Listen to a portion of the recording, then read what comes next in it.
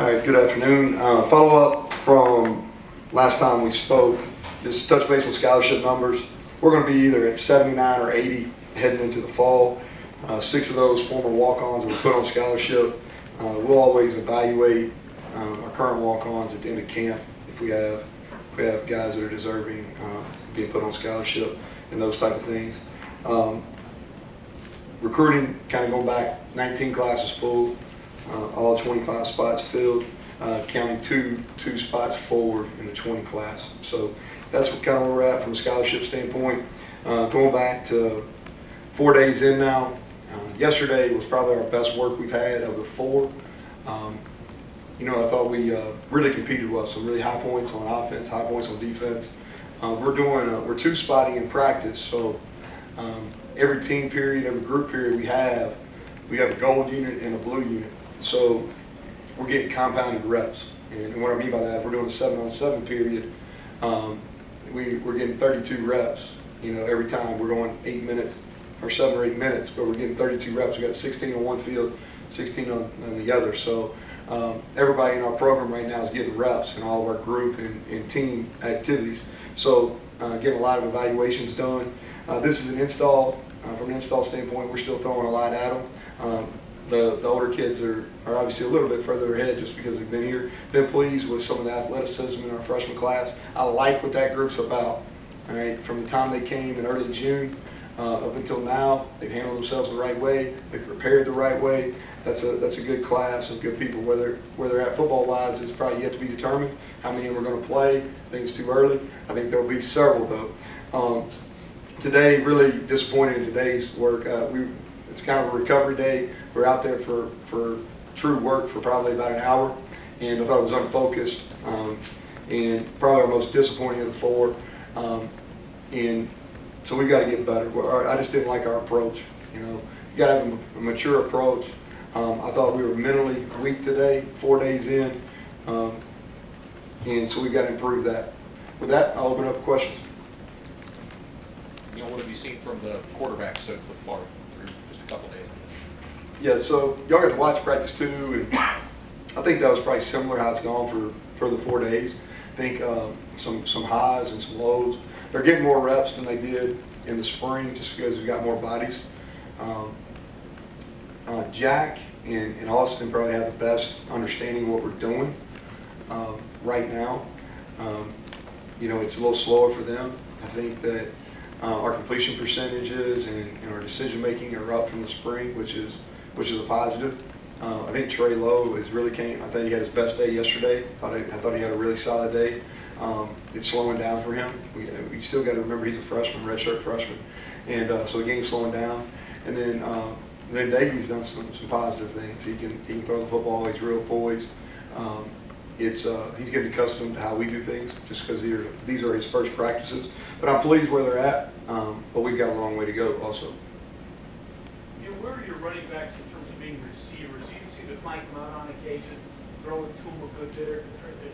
Better than you thought? Yeah, so, well, it's something we really, coming out of spring, we realized that, hey, we've got some talent at running back, we're gonna have to use them in a variety of ways. So we challenged particularly Sinkfield and McCoy, you know, to really work on some receiving skills, route running, those type of things during the summer. And we are, I and I think they, they're gonna help us in those spots. We're gonna give us some versatility, what we're doing offensively, to stay in the same uh, personnel groupings and present different formations. So yes, I, I am, I'm pleased with where both of those guys are as far as learning. Pettaway's getting better at it as well. Coach, what does adding, you know, Doege to this team mean? I mean, obviously, he seems like the most experienced guy, pretty much out of anybody that was eligibility is in the air. Does he add anything and maybe any expectations? Yeah, well, he has. He, he does have more experience than any other quarterback in our room. Um, not from an age standpoint, but just from a games played standpoint. Um, I think the other thing too is, you know, they lost some games. They had some struggles at Bowling Green, so he knows how to overcome adversity. I think that's um, he can probably shake off bad plays and shake off hard coaching a little bit quicker, maybe the other ones right now, just because he had to go through some of that. Um, but yeah, I think it helps in that room. You know, um, played in a very similar system in high school. A lot of the same pass concepts at Bowling Green um, under the previous coaching staff. So um, I think it's a positive. You know, like I said, whether he'll be ready to go or eligible for this year's to be determined.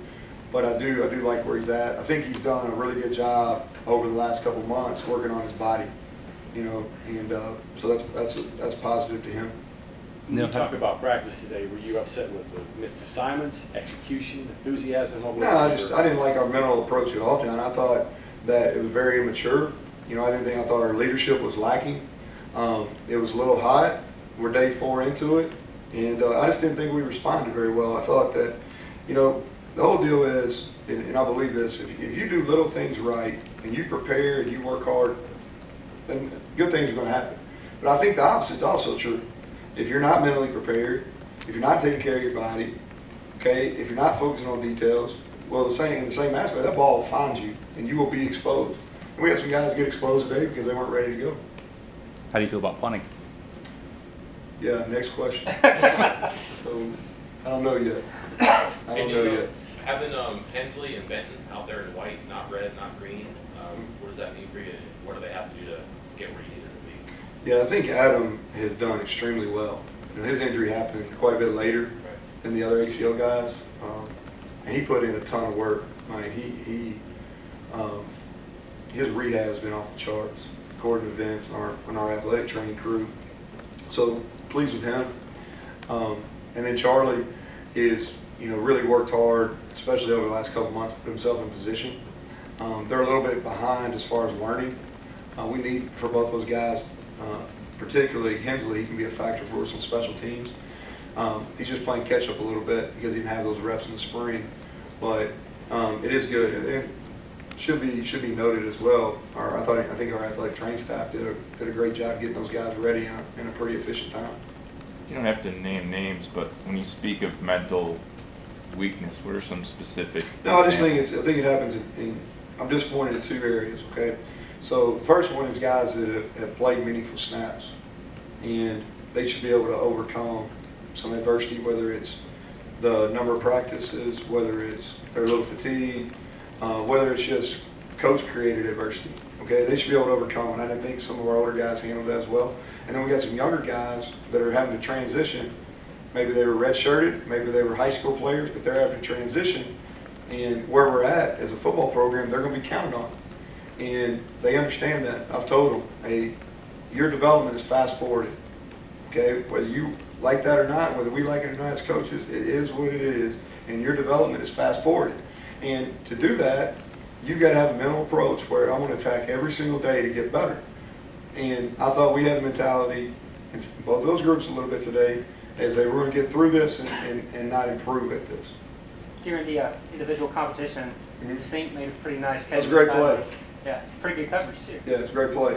So Hickey, I'm gonna have, I'm sorry having you guys officiate these, uh, um, uh, when y'all come out to practice, the caveat is you have to officiate the competition. Uh, But the DB knew immediately to wave him out. Oh, I know. So, Yeah, they, uh, no, it was.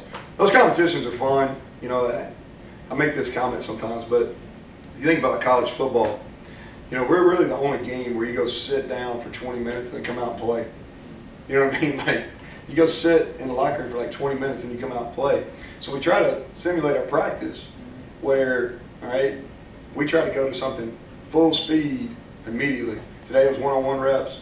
You know, later on, once we get our team, like, I think tomorrow, we kick in and it's, you know, it's a full speed eleven on eleven drill right out the gate. And it makes them have to be ready. Uh, we had, we had a couple good competitions today. I thought that, uh, uh, Keith Washington going against Sam James in, uh, in one-on-one. That was a competitive, uh, period. Keith, Keith won that battle. And then Sinkfield, um, came out with, uh, Tyke Smith, and he's a guy that I'm excited about. And they battled. Tyke had great coverage. Jack threw a pretty ball, and Sink made a great catch and held on to it when he hit the ball, when he hit the ground. So that was fun. Good way to start. Neal, what are the benefits uh, of the over the summer uh, players-only workouts? And what- what, what benefits do they get out of that? So, from a from a defensive standpoint, it's communication, all right, especially in the secondary. All right. From an offense standpoint, it's timing. Okay. Now, but there's there's the reverse of that too. There's some things where they're not getting watched, they're not getting coached, so they're getting bad habits. So the repetitions are far more important. But early in fall camp, and it's probably the same way across college football, is now that they're, got coached, getting coached on every single rep, and there's film involved and all those type of things, we gotta break these habits that they formed over the summer. Maybe that's jogging on off the field, maybe that's being in a lazy stance, maybe that's not running to the ball, okay, because that happens over the summer where they're not getting constantly reminded. Um, so we're fighting a little bit of that, but I think the reps and the reps on offense, communication on defense. How about the leadership roles that some guys There are, have to take? There are. That that is important. That's important. It's uh, and basically what we've done with that is um, a lot of that happens in the in the strength in the weight room as well because so coming out of the spring, the players in each position groups ID'd who they felt like their leaders were. Coaches okayed it, but we let the players ID who they thought the leaders were in their position groups. Um, and once those guys were ID'd, we went we went through a process of training those guys how we thought were the best way to lead tho- that particular position group, and then they led right, uh, different aspects of the off-season, off-season condition. Bryce Wheaton, the guy you mentioned the other day, is someone who you thought had a pretty good summer. Now that you've had a couple days of fall camp, what do you think of what he's been doing? He, he would be our most improved player from spring ball um, to right now. Yeah, from guys that went through spring to guys now, um, he would be the most improved player, and uh, he did. He and, I, and I'll say this: like he had a lot of adversity in spring. Things didn't go the way he wanted to. He probably got coached harder than he's been coached before. Um, um, he got beat a lot, and rather than tucking his tail and and and being sad about it or not doing you know, he went to work. He approached it, took ownership of it, that it wasn't good enough, and you know, he was the. I think if you go back and look at social media, he was the, the workout warrior of the week multiple times. He was one of the highest graded players coming out of summer workouts, according to our strength staff, and he's been really productive. He's been really productive, and he's made catches on contested balls the last three practices. First practice, it was a little, little, little sluggish by him, and it's hard. Not sluggish, his effort was good, but 50-50 balls, he didn't make as many. The last three days, he's made a lot of contested plays, which, which is what we need from him. And he's a guy, he's as talented as anybody we have in our program. Did uh, Tommy Bowden have any wisdom to share with you, or is it just? He looked good, didn't he? He looks, he looks young. You know, he got out young. Uh, no, he, uh, he, uh, no, it's good. You know, he, he's welcome here anytime, and you know, he, uh, uh, he and Vic and, and Ron West, they all work together at Clemson, so I think that gave, gave him added incentive to get here as well. Neal, assuming you informed your team that you were disappointed with their efforts today, yeah, I did. um, as a coach now, the response, I would imagine, is gonna be huge for you to see if it corrects or if it doesn't. You'll, you'll learn a lot, is that correct? Sure. How they respond now? Yeah, and I think part of it too is coaches, we gotta do a better job getting them ready to go. Coaches aren't any, it's the same way, you know, day four, they've been up here all day for four days in, a- or three and a half days in a row now. As coaches, we gotta do a better job getting them ready, and that starts with me. And so I think it's on us too, uh, to get them ready, and, and tomorrow we're gonna have our hardest practice of fall camp. That would've been the case if we had our, our best practice today, but we're gonna have our hardest, and the first time we put full pads on tomorrow, we're gonna do a lot of eleven on eleven work.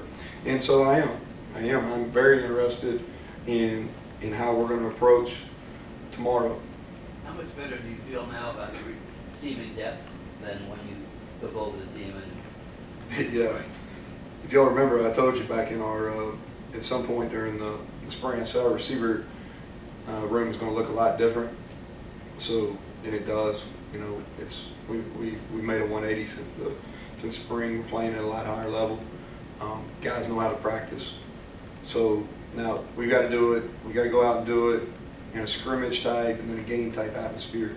Um, But I am much happier about where those guys are at, where that room's at now, than at any point during the spring. the talent levels, will you, The, the talent, the talent level is improving. Talent level is improving, and we've got guys that are working toward their potential now. Along those lines, offensive line, where are you at with that? Well, we've, you know, I think Colt McKivitz, who sometimes get lost, and this is, if I was gonna list guys right now, four days in, okay? Now, we'll give an award at the end of camp, but on offense, most improved players would be Bryce Wheat, second would be Colt McKivitz. Okay, and he played at a high level in the spring. But he really attacked, you know, I really challenged him. I thought he was pretty good in the spring. And, and I think he really strives to be better than pretty good. I think he strives to be great. strives to be a high round draft pick, strives to be an all Big 12 player. Um, and again, go back and look at those workout warriors, multiple. I think he graded out uh, from the strength staff the highest of anybody during the all-season program uh, in his position or in his position group in, in O-line, D-line as a total. Um, so pleased with him. Kelby Wickline is um, he continues to improve. Thought he got steadily better as we went through spring. Uh, he's, he's in the best shape he's ever been. So uh, he's been solid. Uh, Josh Sills uh, has an opportunity to be an upper end player in our league. Um, I think Mike Brown continues to improve. Uh, Chase at center is a little inconsistent. I like for him to, and I think he has the capabilities. Uh, he's got really good, a lot of the attributes we look for in a center, he has them. He's got to play a better pad level, that's a challenge to him. Um, but then we've got to get some depth, you know, and that's why we get in full pads tomorrow, um, and we can really go to work and work on our run game and things. That's where we need to see, okay, who's going to be our sixth, who's going to be our seventh. We got to have eight guys. You got to have a minimum of eight guys ready to play in this league, and it's going to be a great competition over the next two weeks to see who six, seven, eight's going to be. You look at your offense, your two best pro prospects could be those two alignment, possibly. Yeah, I think we got some young guys that are going to be Down the road. down the yeah, road, yeah, mean, but right now, that's fair. Um, I think Kennedy McCoy has a, has an opportunity to, Okay. you know, he and Pettaway are both. Um, you know, if you're looking at early, early draft grades, you know, that, I think that's probably a fair assessment. What about keeping uh, a guy like Kelby? Because that's a very unique situation. It is unique. I think it speaks to him. Yeah, I think he's very mature. It is, that's a, it's a, it's a tough situation. What, what has Colton gotten better at? I think he's past that. Past that. Um, I think he's, he has less wasted movement. I think he plays with better bend. I think his first step is more explosive. Um, he's stronger at the point of contact. I understand it physically, he's improved too, about three fifteen, I guess. Yeah, He he is. body. I think he, I think he feels really comfortable with the way he's at. Yeah, you said, I think several freshmen could play, and it's too early, but that four-game thing gets you some pretty. It does. Some people are front of the season, back of the season, some people won't even have a, Yeah. uh It's, it's a, prescription. What do you do with it? So what we'll do is, so at the end of this, kind of after our second scrimmage, it's basically, we'll take a couple days. The- The players have got some, they're not necessarily off the whole time, but they've got off days built in, but we don't really practice as much. So as coaches, we go and we try to plan out our year, honestly. And, uh, so the new retro rule is great, but there's some strategy that goes into it. You know, because what you want to do is you don't want to necessarily just play everybody in the non-conference or everybody right out the gate because if you have injuries later in the season, you don't have those in the bank. So it takes some strategy and we'll really form those in 48 hours, kind of right after our, our second scrimmage. You mentioned Bryce. Anybody on defense pop out to you that's improved since the spring? Uh, Jeffery Pooler's having, you know, I think he's fundamentally, um, on defense, he's, he's, he's doing a nice job. Um, you know, Jared Bartlett's a freshman at the bandit position that's done well.